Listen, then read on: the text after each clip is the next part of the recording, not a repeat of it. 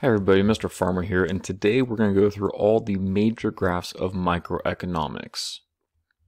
First off, we have the production possibility curve. Uh, the table version is the production possibility frontier. So in this version, we have one person or one company, and they can produce output B or output A.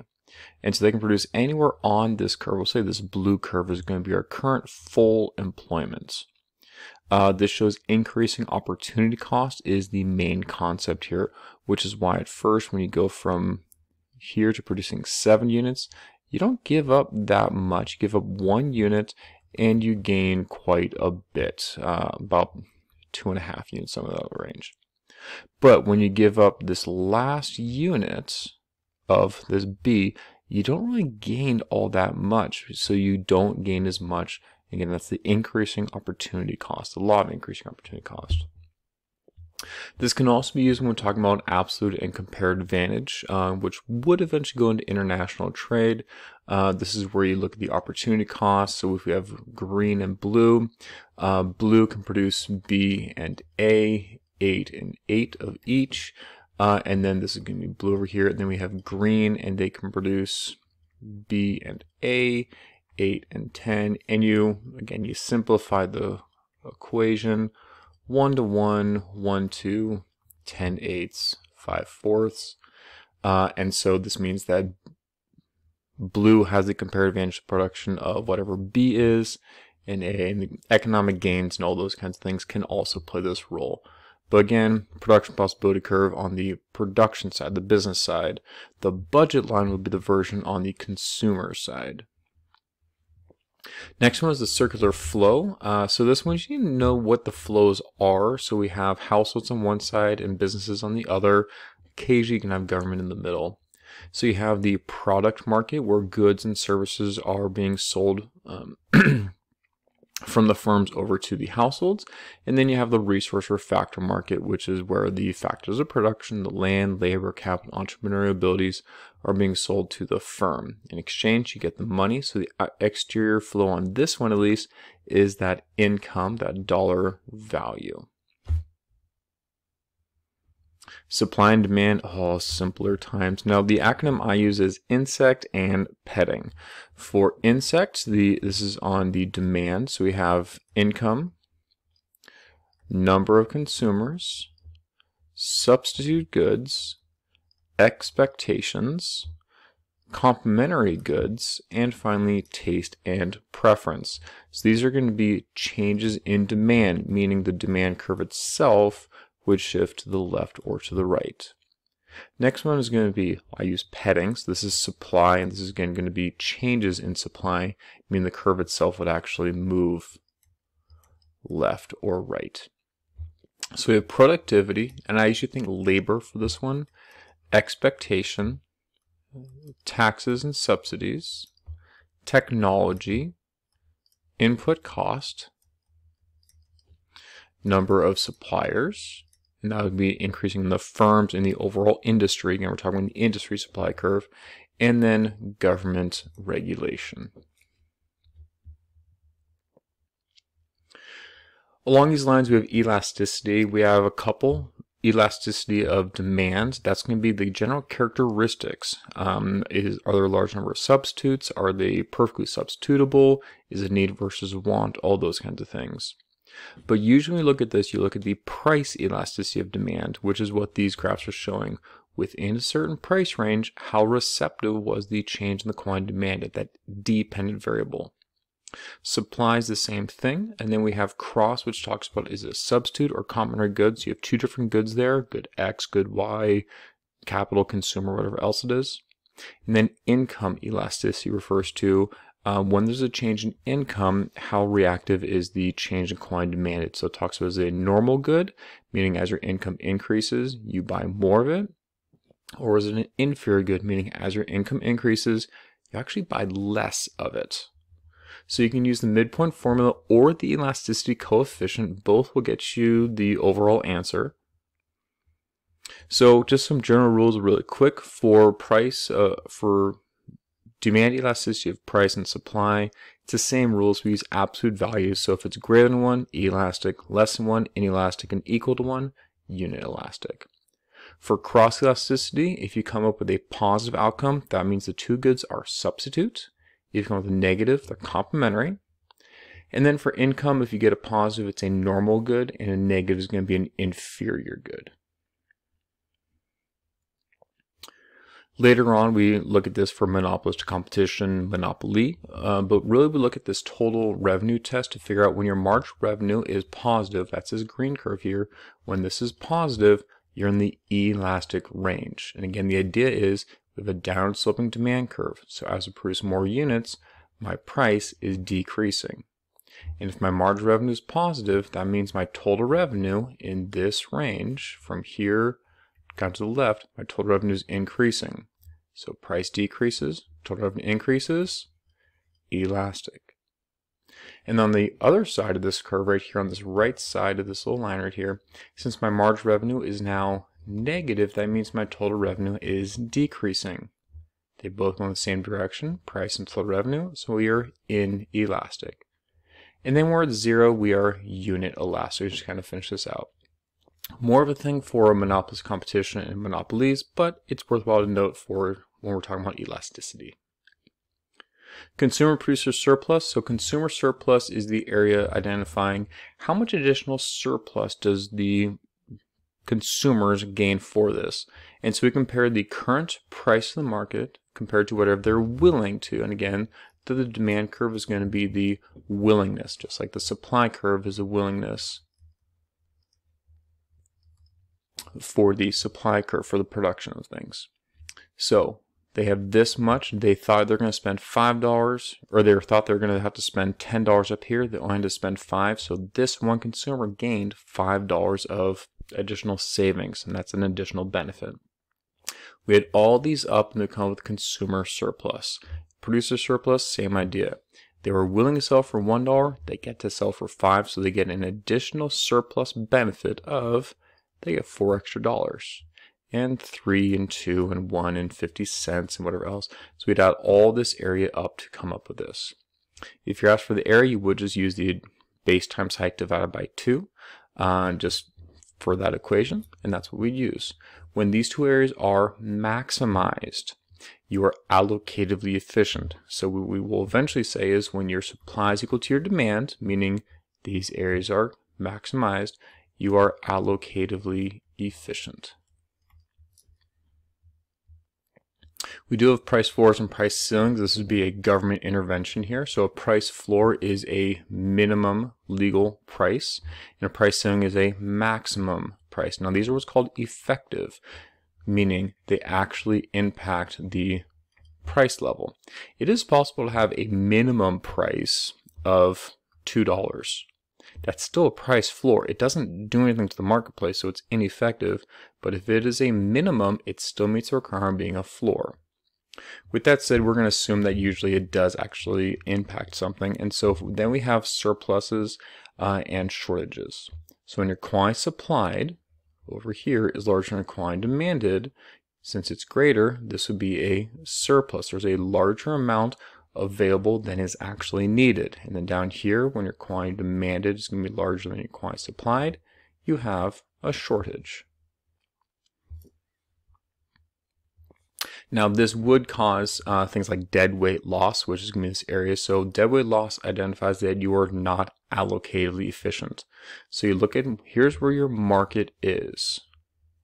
Now we have a price ceiling, that's why we're over here. And so at that low of a price, the producers say, we don't want to produce that much. So you have this market output, but we want to be right here.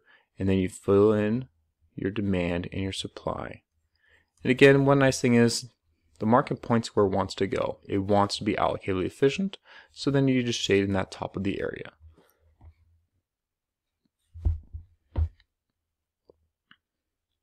Business cost, a couple things to remember for this is we have the marginal cost curve. This is based on the stages of production. So if you look at the marginal product, you have three stages. Increasing, decreasing or diminishing, and then negative. Okay, so if we had a marginal product curve on here, it would look about like that. And this is going to help us represent uh, why these curves look the way they do. At first, we are better off with our variable resources. They're more efficient, so we go down. But then they start to go back up because we are basing it on fixed resources, fixed capital, whatever else it is. A couple other things to note. One is that the minimum ATC occurs where the marginal cost equals average total cost. If you're producing at that output, you are productively efficient. Doesn't matter if you're pricing there. If you're at that quantity, you are there.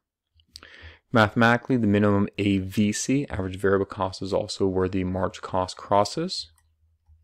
And the last thing we need to know is this. Average total cost minus average variable cost equals average fixed cost, which means the gap between here and here and anywhere else over there should equal the average fixed cost. That's going to come into play when we talk about um, minimizing loss for shutdown scenarios.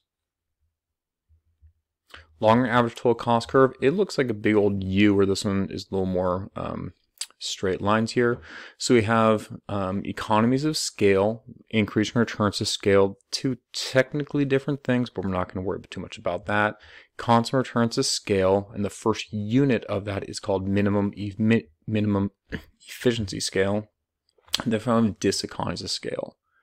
So as you produce more units, you kind of get this diminished return aspect for fixed resources. You get more efficient, you get better output, better capital, uh, more specialization, but eventually it bottoms out and then it gets just too big. We can also talk about increasing and decreasing cost industries, and I use the long run curve uh, to help illustrate this. The increase in cost industries is the idea that as you add more firms, all three of these are when there's a change to the number of suppliers, specifically an increase. As you increase number of suppliers and increase cost industry, increase the cost. So it'd be like going from ATC6 to 7. So everything just gets more expensive because of the increase in demand on the resource market decrease in cost industry would be like going from ATC1 to 2. It's actually easier to produce. There's a resource market that's completely created at this point, so it's actually cheaper, and this would be what the entire industry would feel. Again, I'm kind of misusing the long run curve here, but it does work. The last one is the constant return. That'd be going from like ATC3 to 4. This is our default and the idea is that as more firms enter, you just stay where you are actually. And so there's no visible change to the cost curves that we look at. In the product market, we have four different market structures. Perfect competition, there's only one, perfect competition, and imperfect competition, there's monopoly competition, oligopoly, and monopoly. One thing to note is that we always use marginal revenue equal to marginal cost. That's going to be our productively efficient output. In perfect competition, there's zero deadweight loss, and in the long run, we're going to be productively efficient. That's why they're called perfect competition. For the imperfect competition, there's always going to be deadweight loss, meaning we're not socially optimum, and it's very unlikely for us to actually be producing at the productively efficient output. Hence, imperfect competition. So we have a couple different scenarios. So we have the shutdown, minimize loss, break even, and profit. So if you look at this general cost curve, the idea is that if my price is greater than the ATC, so at our output, if my price is greater than my average total cost, like PH right here, I'm greater than ATC, so this would be my area of profit. We do this rectangle all the way across. If instead I'm equal, right here, so depend, no matter how you find your output, once you're at your output, if it's equal to ATC, you break even. If you're in between your ATC and AVC, again, this is the part where it's important to remember the gap between ATC and AVC is your average fixed cost. So yes, if you're producing something like PM, you do lose money. You lose kind of the shaded in area right here. But you at least don't have to pay all this fixed cost, which would be from here to here. That's a lot more money. And right now you're only losing this much. So you minimize how much you lose. Last one is the shutdown. That's where if you have a price less than your uh, AVC. Because at that point, let's say you're at PL, you have your fixed costs, which are fixed. No matter what you charge, you have that. But then you add additional costs on here. In this case, the AVC to here. You're adding on cost to yourself. Uh, that would be in addition to the fixed cost you're losing out on. So you don't want that to be happening. So here we have perfect competition. In perfect competition, we have a side-by-side -side graph. So we have industry on one side, and then this will be the firm on the other side. These guys are price takers uh, or price receivers. And so whatever the industry says, they're going to have going across. Okay, now if for instance they had been up here at first, then we'll say that's P1 and demand 1, margin revenue 1. At this point, they're producing at a profit, this much specifically. So in the long run, firms can enter into this market. And because they can enter in, they're going to keep entering, entering, entering until there's no longer motivation to enter, which is when they break even. So in the long run, they break even. So at this point, we're producing at our marginal revenue equal to our marginal cost. We always do that. But for perfect competition, my demand is equal to my marginal revenue. So demand equal to marginal cost. I am now allocatively efficient. I'm also, here's my consumer surplus and producer surplus. This area is also maximized. It's another hint for us. But I'm also producing in the long run at the break even, which means I'm producing at demand equal to average cost. So I'm producing at average cost equal to marginal cost. So I'm also productively efficient because when these two are equal, that's the minimum ATC or productive efficient output. So again, margin revenue, margin cost, uh, quantity uh, is going to go up to the demand curve, price equal to ATC, all that. Then we get monopolistic competition. Here it is as making a profit. You notice we now have a downward sloping demand curve, and then mathematically, we now are going to have a downward sloping marginal revenue curve that's less at all units. We still produce a marginal revenue equal to marginal cost. We're going to go up to our demand curve because we charge consumers exactly what they are willing to spend. And now again, I'm going to go down to my average total cost curve. So this would be my area of profit.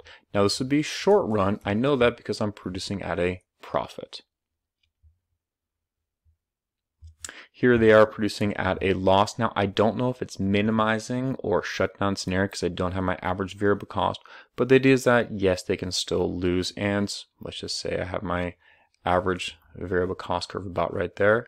This would then be a minimizing loss scenario because again, at this output right here at QM, I'm above my average variable cost, but below my average total cost. So I lose money, but I lose less by continuing to operate. But in the long run, they're going to break even. Firms are going to enter or leave until there's no longer motivation because there's still low barriers to entry. So now I break even. So let's look at this. So I produce a marginal revenue equal to marginal cost, still the same. But you notice my demand and marginal revenue are not equal. Okay, which means my demand is not equal to my marginal cost. So I am not allocatively efficient. Okay. And when I break even, my demand is equal to my average cost. But if average cost is equal to my demand, and demand is not equal to my marginal revenue, but my marginal revenue is equal to my marginal cost, this means my average cost and marginal cost are not equal, which means I'm not producing at the productively efficient level either. This is why it's called imperfect competition.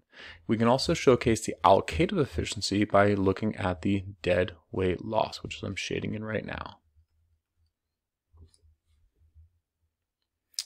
Monopoly looks the exact same. Here's the difference. In the long run, they continue to make their profits. It's going to be this section right here.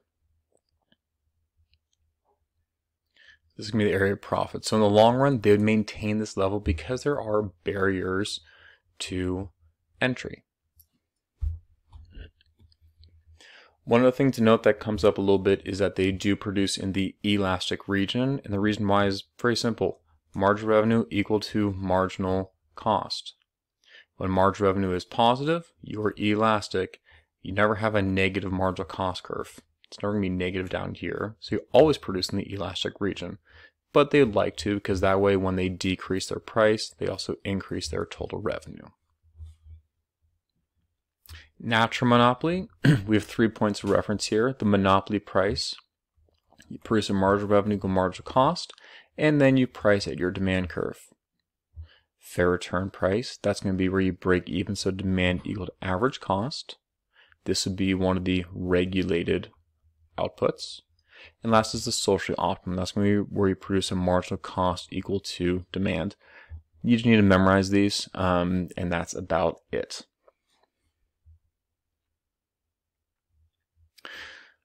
Last market structure is game theory or is oligopoly, and there's the kink demand curve, and if there's tight collusion, they look like a monopoly. But so the typical one you look at that's exclusive to oligopolies is game theory. So you play a big game of what if. What if company X prices high? Well, then company Y has a choice to price high and get $200 or price low and get 250. They'd rather get 250. If price X, or company X prices low, do they price high and get 100 or price low and get 400? 400. So because it's consistent no matter what, we call that a dominant strategy. Then we go the other route. What if company Y prices high? Company X could price high and get 200 or low and get 175? Well, 200. What if company Y prices low? 75 or 350? 350. So they do not have a dominant strategy because it's not consistent. So if all information is known, they do not act in collusion, they're going to end up at this spot, this bottom right hand corner. Because company X knows company Y will default to the dominant strategy, they'll pick accordingly. This is also referred to as a Nash equilibrium because there's no reason for them to deviate away from their choice. Easy way to find this out is when you do the what if scenario, if there's two boxes here, that's a Nash equilibrium. Typically 0, 1, or 2 Nash equilibriums per unit. Um, that's the typical. However, if all information is known, they act in collusion, where would they end up? Well, here you just pick the obvious choice. Where they rather be? 200, 200, 250, 75? No, they'd rather be actually at the same spot you pick the one where they would agree. Just take a step back. Man, I'd agree to the 400. Really, you don't want 250 or 200? 100? You sure? Yeah. Okay. Last little bit of topic, uh, actually there's two more after this, is a resource market. Perfect and imperfect competition. For perfect competition, we have again a side-by-side -side graph here, industry, market, now instead the marginal revenue product, which is the additional revenue gained when you hire a new unit of resource, typically uh, labor. So how much did you gain? So that's going to become our demand. These guys are wage takers, wage receivers. Whatever the industry goes for, that's what's happening over here. So you hire at output Q and you pay them wage W. Then we have the monopsony or the imperfect competitive market. So we produce at marginal resource cost or marginal factor cost or marginal labor costs, all interchangeable, equal to MRP. So we're going to produce or hire L amount of people, and we're going to pay them wherever they were willing to work for. And L amount of people were willing, supply curve, to work for a price W. Uh, you can also identify the perfect competition, also um, inclusive unions. For they want to produce at the perfectly competitive markets. That's going to be right here, where your supply is equal to the MRP, because in perfect competition, our supply becomes our MRC. You can also identify the exclusive or craft union, which is at point L. They want to get the highest pay. So at point L, you go up to the marginal revenue product. So from here, point X to point W, that would be what's called the negotiated range for unions. It'd end up somewhere in that mix with a whole bunch of conversations in between. For the minimum wage controversy, the issue is this. Does it increase or decrease unemployment rates? And that's where it gets a little confusing. Depending on how you draw the graph and how large, it can actually increase or decrease. For instance, here, if we have a minimum wage of 30, well, we're actually going to have a lot fewer people gained. If we have it at 40, we'll actually have more people working because our MRP equal to MRC is not going to be at, at unit 4. What if we increased a whole bunch to 60? Then our MRP equal to MRC is going to happen way here over at unit 2, which means we've now increased unemployment.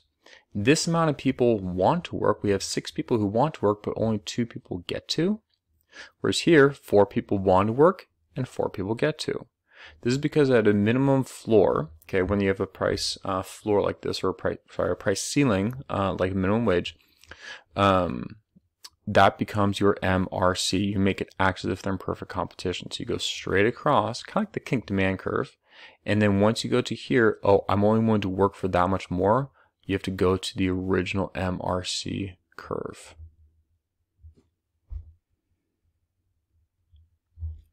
Last thing is externalities. We have positive and negative externalities. So here have the marginal private cost, effectively our supply curve, and marginal private benefit, our demand curve.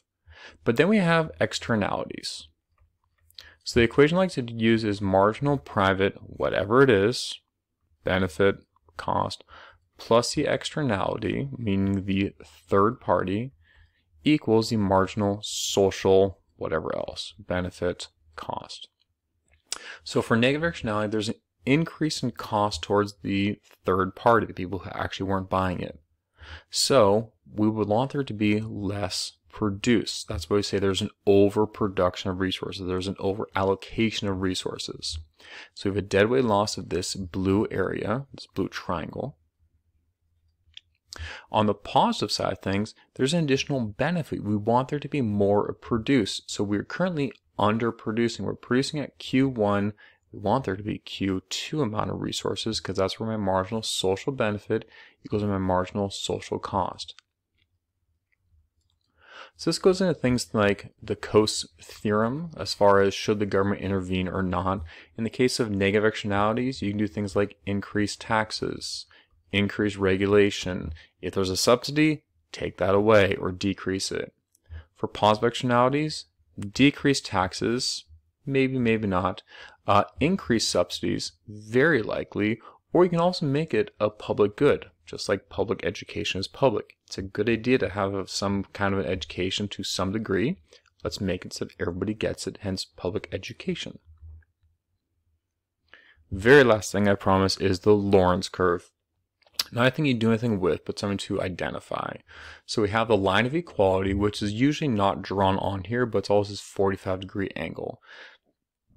And this shows that the percent of the households. If we have 20% of the households, they would have gotten 20% of the income. If you start at zero, account for everybody else, and once you get to 100, you've accounted for 100% of the income of the nation, region, city, area, whatever you're talking about. But how far removed are you from this 45 degree angle? The larger the gap, the more inequality there is for the income. And we talk about a thing called a Gini coefficient. If you have a Gini coefficient of 1, that is perfectly unequal. If you have a 0, that would be perfectly equal.